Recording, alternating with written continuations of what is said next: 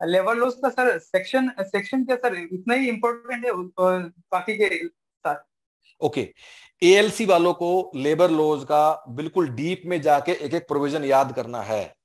APFC वालों को थोड़ा ऊपर ऊपर करना है।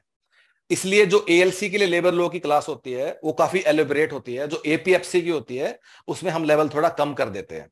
फिर भी किसी एपीएफसी वाले का मन है तो एएलसी वाली क्लास भी देख सकता है बाय द वे किसी की ज़्यादा अगर इच्छा है तो।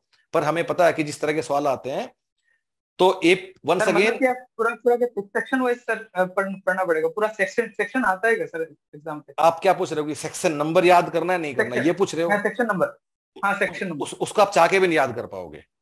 अगर कभी किसी साल वैसे तो उसका रेयरली कभी आता है पर कभी एक साल का भी सेक्शन नंबर का पूछ भी लेगा उसके बावजूद हम सेक्शन नंबर कैसे याद करेंगे बताइए? हमारे पास एएलसी में अठारह उन्नीस लेबर लॉज हैं। ऑन एन एवरेज अस्सी एवरेज से फैक्ट्रीज एक्ट में तो शायद सौ से ऊपर होंगे।